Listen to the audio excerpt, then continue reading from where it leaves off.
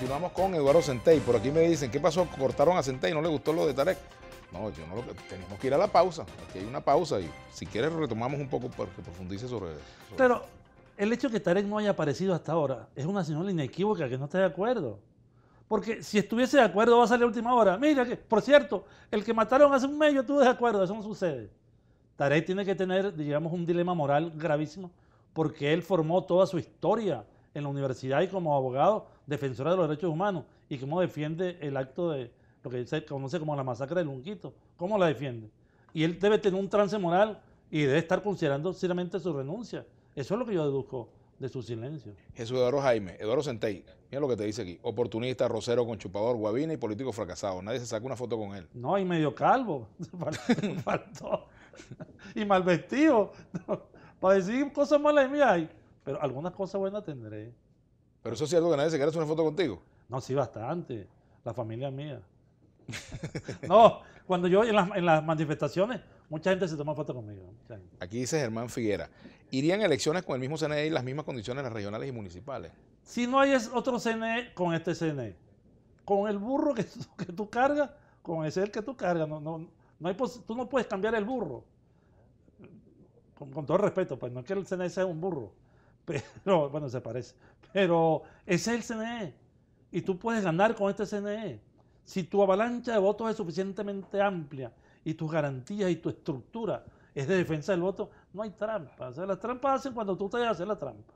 Cuando tú no cumples tus funciones, cuando no tienes los testigos, cuando no participas, o cuando andas en un vaivén. En estas elecciones sí participamos, pero en estas no. En estas sí. Es como la margarita. Los partidos no pueden ser como el que desó la margarita elecciones municipales no vamos, estadales sí vamos, presidenciales sí vamos, no sé qué no vamos. Tú no le puedes dar un mensaje a la ciudadanía sobre, sobre cuál es la orientación. Si tú mismo no tienes una, una línea y la línea es electoral con este CNE, sería ideal otro, pero el que tenemos es este.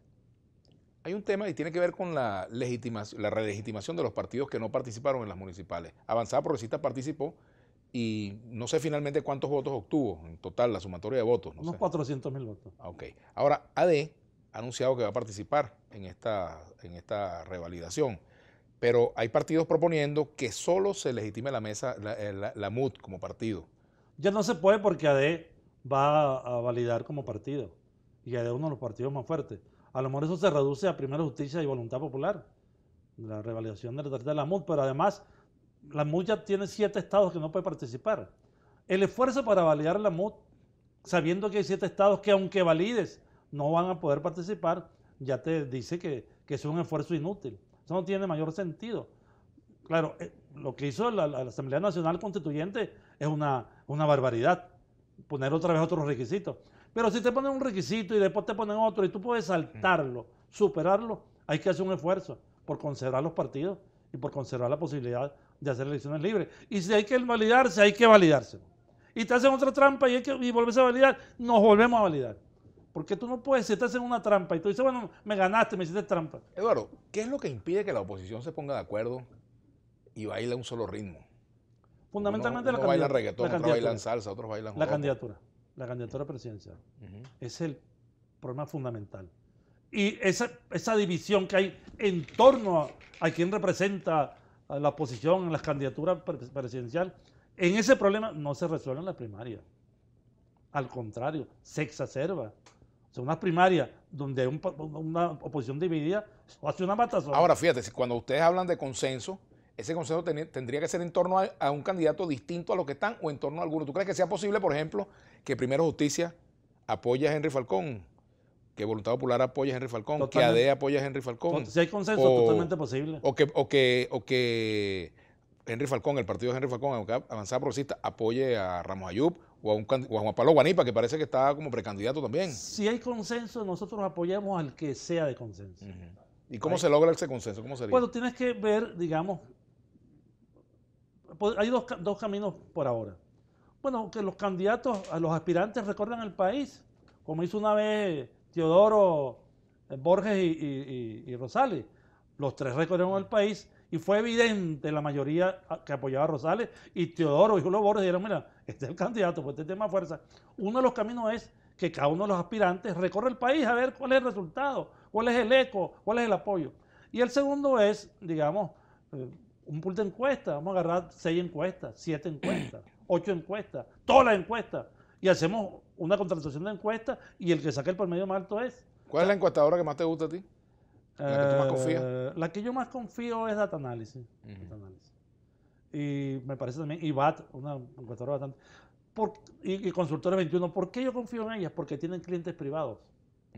Porque una empresa como Data Analysis o Consultores 21 o IBAT, que tienen clientes de bancos internacionales, tienen clientes como, qué sé yo, la, la telefonía, todas las telefonías celulares son clientes para estudios de económicos. Ellos no van a arriesgar su reputación, como hizo Marmati. Sin embargo, fíjate lo ¿Qué siguiente. hizo Marmati?